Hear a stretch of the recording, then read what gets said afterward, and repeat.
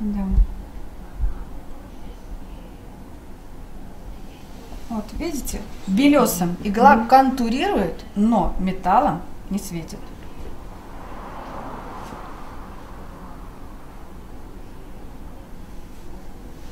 Угу.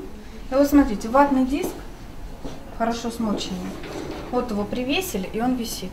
Пациентам они всегда хотят что? Помочь нам, да, поддержать диск, не разрешать. У них руки грязные, не нужно этого делать. И давить, натирать там чего-то интенсивно не нужно. Препарат пластичный. А с сильными нажатиями вы будете вдавливать его в гиподерму.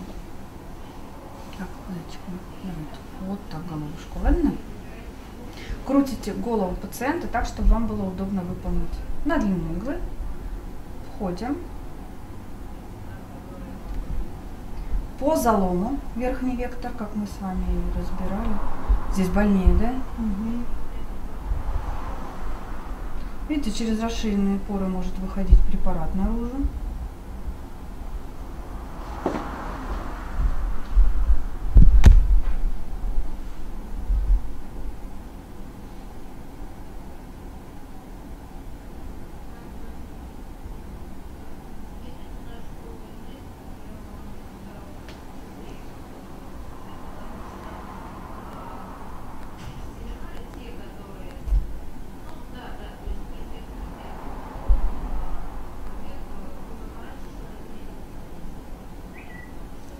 Вот так.